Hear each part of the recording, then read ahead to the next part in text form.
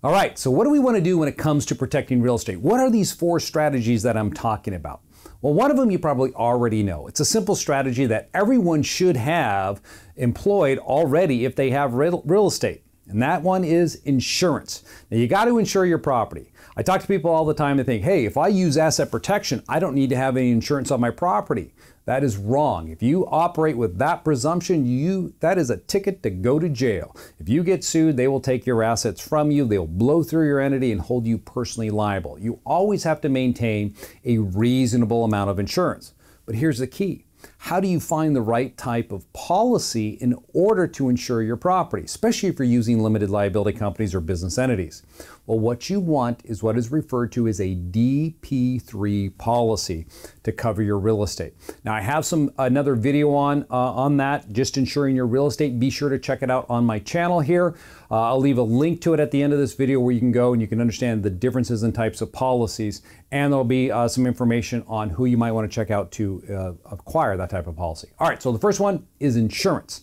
Now, what's the second way to protect your real estate? Well, it's what everyone talks about using limited liability companies. That's right, you want to set up an LLC to protect your, your rental real estate or investment real estate. So here's an LLC. You set it up and you want to get your property in there. Either you buy directly in the name of the LLC if you can do that, or you acquire it in your own name and then after the fact you deed it into this LLC. Now, what type of benefit is that going to give you?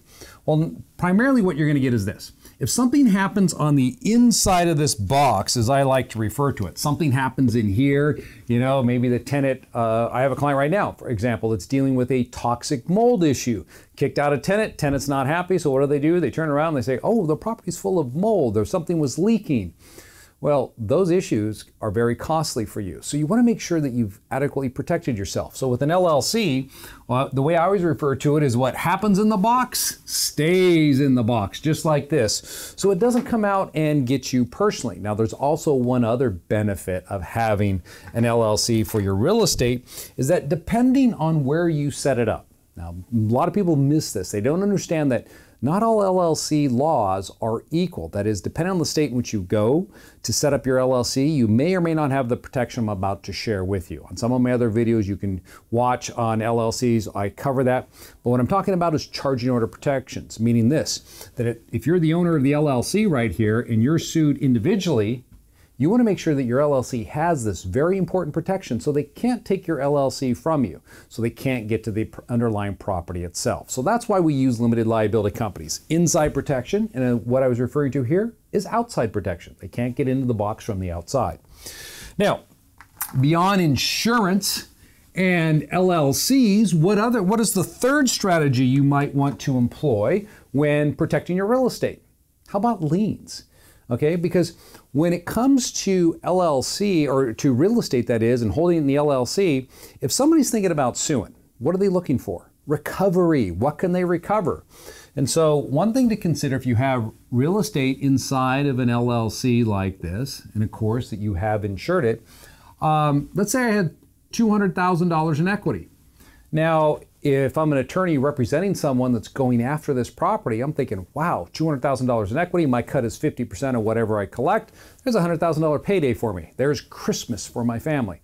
Now, on the other hand, why not make that property look like it has no equity? You can do that if you set up the structure the right way and you lien your own property. Yeah, get this. Why not set up a structure over here, a separate LLC? Typically, we're going to set them up in Wyoming or Delaware in a state that doesn't have your name associated with it, because that's what's key here. We don't want people to see that you're doing this on your own assets.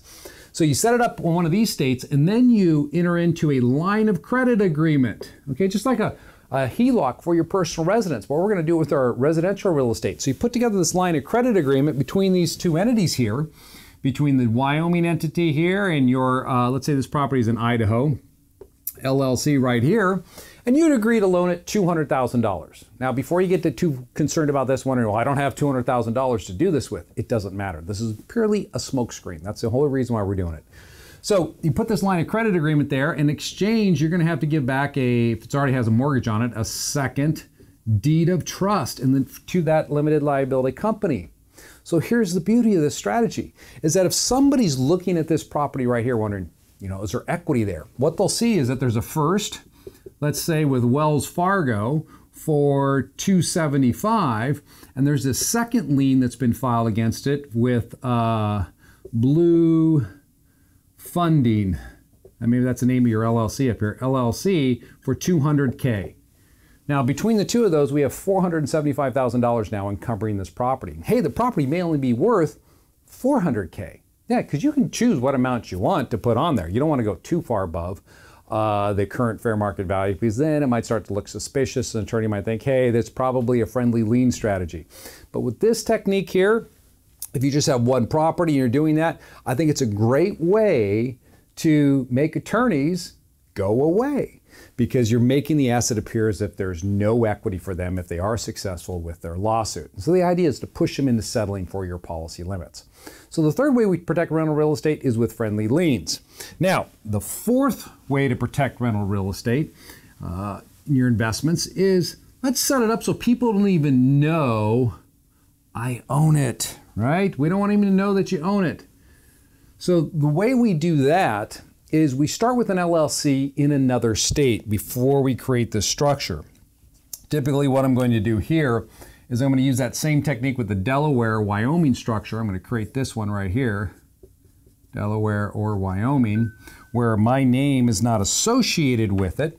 So I'm not associated with this entity right here. You set that one up first, and so you have what we refer to as anonymity. And then you create this LLC up here, this second LLC. So if it's in Idaho, it would be my Idaho Limited Liability Company.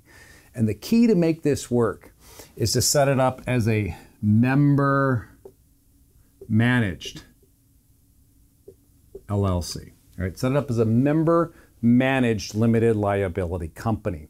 That way, what happens when you file it, you're pointing all the information on the state website to this entity here nothing points back to you. The beauty of this technique is that if somebody's considering bringing an action against you personally, this is how, I mean, when we're talking about protecting real estate, it's not just protecting you from your real estate, it's also protecting your real estate from you and the claims that people could bring against you. If somebody runs an asset search on you, you don't appear to own any businesses. They don't even know that you have this stuff because of the way you've set it up. You could have 100 properties, 100 separate LLCs, all pointing back to that one purple box, and no one would know it when you use this type of strategy. So those are four key strategies when it comes to protecting your rental real estate. You want to make sure you have insurance, you want to make sure you have LLCs, you want to look at using friendly liens, and more importantly, you want to make sure that you have anonymity for it. My name is Clint Coons with Anderson Business Advisors. Be sure to check out some of my other videos on using limited liability companies to protect your real estate investments.